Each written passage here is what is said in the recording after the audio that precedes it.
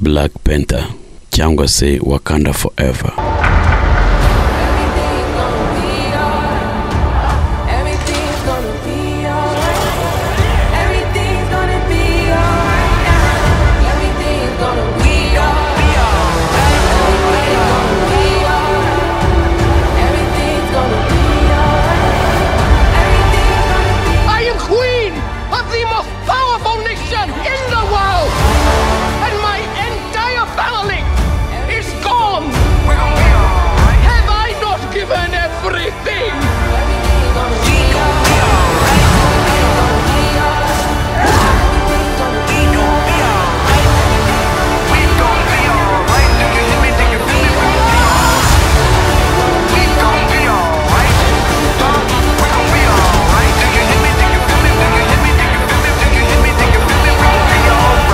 imwe muri filime zari zitegerejwe n'abatari bakeya ku isi yose.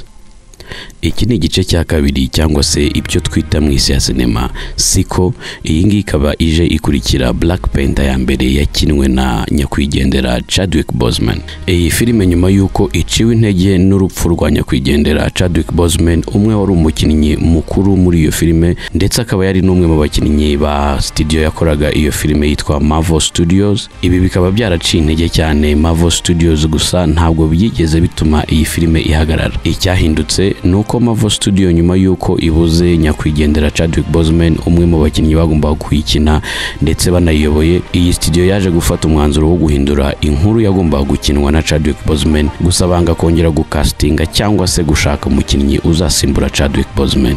Mbibutse ko uyu Chadwick Boseman yakoze akazi katoroshye muri filime ibanza dore ko ariyo filime ya mbere muri filime za Marvel Studio cyangwa se Marvel Universe. Izo twita ngo single cyangwa se ziba zarakinwe n'umukinnyi umwe utari muri groupe ya Avengers akaba ariyo filime ya mbere muri Marvels ya singo yujuje miliyari kuri box office cyangwa se mu mafaranga yaguzwe. Nyuma y'uko uyu Chadwick Boseman yitabye Imana studio yafashe umwanzuro wo gukomeza gukora iyi filime gusa ikayikora n'ubundi iyitura Chadwick Boseman. Dore ko muri iyi filime ya kabiri banagaragaza urupfu rwe. Abenshi rero bashobora guhita bibaza bati noneho se iyi filime igiye kuyoborwa nande? Iyi filime igiye gukinwa nande? Gusa studio ikora iyi filime ariyo Marvel Studios cyangwa se Marvel Universe bitewe n'uko ushaka kubyita. Yahise yibaza niba umwami T'Challa wa Wakanda wakinwaga na Chadwick Boseman atanze hazakurikiraho iki? Bahise bakora inkuru yerekana uburyo Wakanda yahise ijya mu bibazo ndetse bakaza kureba uburyo noneho abasigaye muri Wakanda haba umuryango wa Chadwick Boseman ndetse n'abandi baba abavugaga rumwe cyangwa se n'indi miryango itaravugaga rumwe n'umuryango w'umwami T'Challa ari we wakinwe na Chadwick Boseman bakareba uburyo imiryango yakwihuza cyangwa se izi tribes zakwihuza zigashaka uburyo bwose bushoboka bwo kurinda Wakanda mu gihe baba babuze umwami wabo. Dore ko isi yose yahise itangira kuza muri Wakanda ije kuhashaka ubutunzi bwaho cyangwa se ubukungu bwaho bitewe n'uko bavugaga ngo uwagombaga kuduhagarika yari umwami T'Challa none ntawe ugihari yitabye Imana.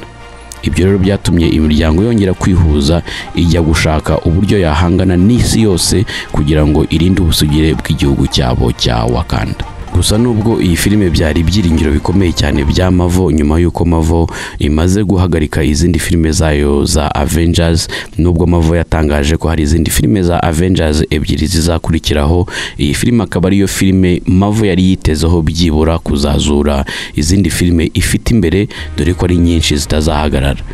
Gusa iyi filime Marvel yayizeraga ko byibura umunsi wa mbere izasohoka izinjiza miliyoni magana atatu ubundi igakomeza yinjiza muri iyo wikendi ndetse igakomeza yinjiza no mu gihe cyose izaba irimo irakinwa hanze. Dore ko bavugaga bati byibura mu gihe kitarenze ukwezi iyi filime izaba imaze kuzuza miliyari mu mafaranga yayiguzwe. Gusa ntabwo ariko byaje kugenda kuri iyi filime yasohotse kuwa gatanu tariki cumi n'imwe z'ukwa cumi na kumwe dore ko iyi filime yinjije amafaranga asaga ijana na mirongo ine ku isi yose mu mafaranga y'amadolari. Gusa nyuma y'uko babajije mavo bati se ko ibyo mwatangaje ko atari ko byagenze mufite byibura icyizere cy'uko iyi filime izagera ku- kuri miliyari mu gihe mwari mwihaye. Mavo yasubije nta n'ubwoba nta n'isoni ivuga iti iyi filime ntabwo yigeze yinjiza amafaranga nk'ayo twayishakagaho ku munsi wa mbere ari zo miliyoni magana atatu z'amadolari gusa muri iyi weekend yose ubwo ni ukuvuga ngo kuva ku wa gatanu tariki ya cumi n'imwe kugera ku cyumweru byibura turakeka ko izaba imaze kwinjiza miliyoni magana atatu. Gusa iyi filime kandi twavuga ko icyatumye itinjiza aya mafaranga miliyoni magana atatu yari yitezweho na Marvel Studio iyikora byaba byatewe n'uko iyi filime itigeze isohokera ku isi yose icyarimwe. Dore ko hari ibihugu byinshi itarageramo ndetse bakaba bakirimo barakora premiering mu bihugu bitandukanye byaba iby'uburayi n'ibyo muri aziya. Gusa studio ikora iyi filime ariyo Marvels ikaba yizeye ko mu gihe iyi filime yaba imaze gusohoka muri ibyo bihugu byose ndetse ukwezi gushobora kudashira iyi filime itujuje miliyari. Icyateye Marvel kuvuga ibyo byose ni uko nyuma y'uko iyi filime imaze iminsi ibiri isohotse ntabwo bari babona review mbi cyangwa se ntabwo bari babona byibura uyivuga nabi nubwo yaba yarasohotse mu buryo butari bu- buteganyijwe cyangwa se nubwo yaba yarakozwe mu buryo abantu benshi nyine batumvaga ko ari bwizakorwa bitewe na nyakwigendera Chadwick Boseman kubura nyakwigendera Chadwick. Bakavuga ko iki ngiki rero ari ikimenyetso cy'uko mu gihe abantu bose bayikunze bishoboka kuba wenda ari ikibazo cy'uko abantu batabona uyu mwanya icyarimwe wo kujya kuyireba ariko bavuga bati abantu nibamara kuyiganiraho buri wese azayireba kandi azayikunda ndetse izakomeze inagira ibihe byiza mu gihe baba basohoye n'izindi yaba gatatu cyangwa n'izizakurikiraho ibindi kandi byatangajwe na perezida w'iyi studio Marvel Studios ari we Kevin Feige inyuma y'uko abajijwe ati mbese ntabwo kuba iyi filimi itujuje miliyoni magana atatu mu munsi umwe nk'uko mwabiteganyaga byaba byaratewe n'uko muri trailer yayo cyangwa se amashusho y'integuza avuga uko filimi izagenda mwaba nta kintu kiri interesting cyangwa se kibereye amaso mwaduhayemo? Byibura ngo umuntu abone ikizagaragara muri iyi filime Kevin Feige yasubije avuga ngo iyo filime imaze gukura imaze kuba nini ibintu byose biri muri filime biba biteye amatsiko. Ugasanga ubuze uko ukata trailer cyangwa se nyine izi mbanzamushinga aya mashusho y'imbanzamushinga cyangwa se abanziriza filime nyine y'integuza ukabura uko uyakata bitewe n'uko nukatamo menshi ugashyira muri trailer ari buze guhita atuma abantu bose bamenya ikiri buze kuba kiri muri filime ugasanga ahubwo noneho ntabwo bose baje kuyireba bafite amashagaga y'ibizaba biri muri filime.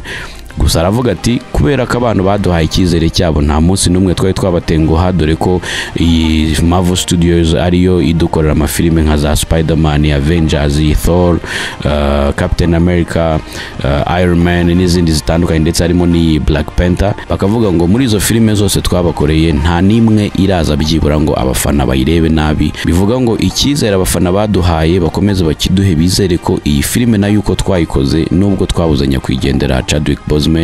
Ariko ntabwo twigeze tuyikora nabi kubera ko twamubuze ahubwo twagomba kuyikora neza ikaba nka filime igomba kumuhesha icyubahiro nk'umwe mu batumye yinjiza amafaranga menshi bwa mbere.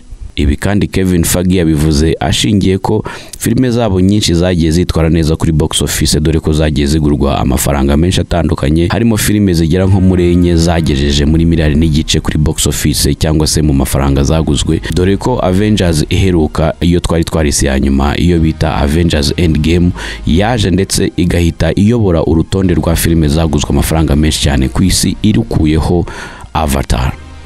Gusa nyuma y'igihe gitoya Avatar yaje kongera yisubiza uwo mwanya wa mbere. Itangazamakuru ryakomeje rimubaza riti se ko kuri box office n'ubundi Avengers Endgame cyangwa se Marvel Studio ihanganye na James Cameron cyangwa se filime ya James Cameron yitwa Avatar?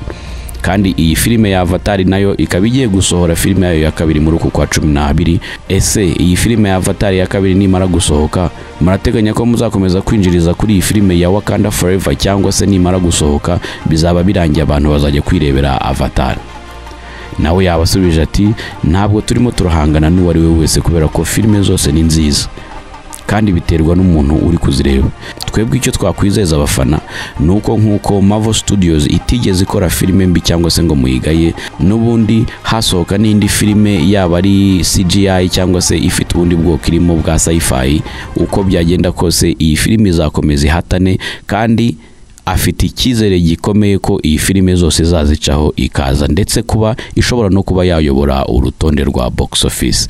Dore ko kugera uyu munsi filime iyoboye urutonde rwa box office habanza avatar ndetse hagakurikiraho avengers endgame. Izo zose zikaba ziri muri miliyari ebyiri zaguzwe ku isoko. Iyi filime kandi wakanda forever imaze kuvugisha abantu benshi ndetse imaze no gutwara imitima y'abantu benshi bamaze kuyireba kugera uyu munsi kuva ku wa gatanu tariki ya cumi n'imwe ndetse no mu bamaze kuyireba hakaba harimo abanyarwanda benshi bayikunze dore ko iri mu masare abantu bareberamo filime ndetse iyi filime bikaba bivugwa ko n'ubundi iki gihugu cya wakanda nubwo ari igihugu cyo mu ntekerezo cyangwa se icyo twakwita fiction ari igihugu gishingiye kuri kimwe mu bihugu byo muri east africa. Abenshi bavuga ko iki gihugu cya wakanda cyashinzwe hashingiwe ku mateka y'igihugu cyitwa Lesotho gisanzwe kiriho mu majyepfo ya Afurika.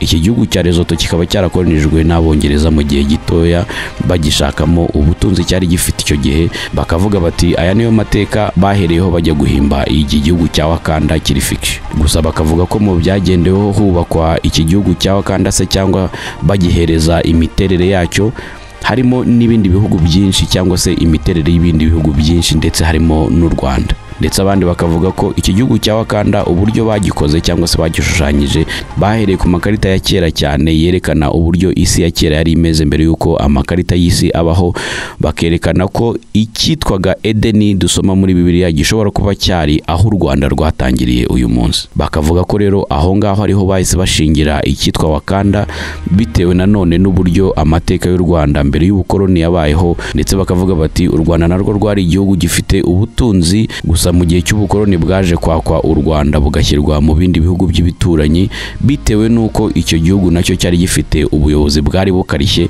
butari kwemerera abakoloni cyangwa undi uwo ari we wese kugira icyo ahungabanyaho ku butunzi cyangwa se ku mitungo kamere y'igihugu. Bikaza kurangira kino gihugu bagiciyemo kabiri ubutunzi bwinshi bukajya mu bihugu by'ibituranyi. Ibyo bigatuma ariho abantu benshi bahera bavuga bati iki gihugu cya Wakanda ni ho bagihereye bavuga bati ni igihugu na cyo cyari gifite ubutunzi bwinshi ariko cyashakaga kurinda ndetse kikabifashwamo n'ubuyobozi bwabo bwari bubashije icyo gihe.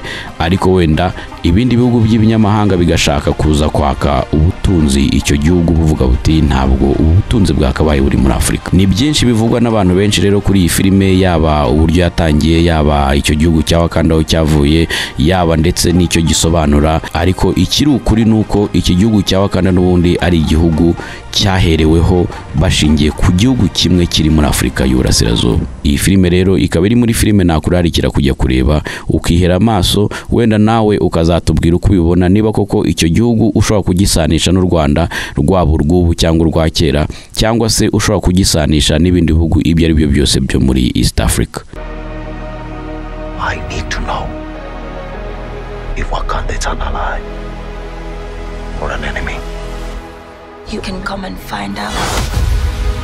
Amazina yanjye nitwa Rukundo Paru naho amakuru ya sinema ho nakagaruka. Mukomeze mukurikire ibiganiro bya TV10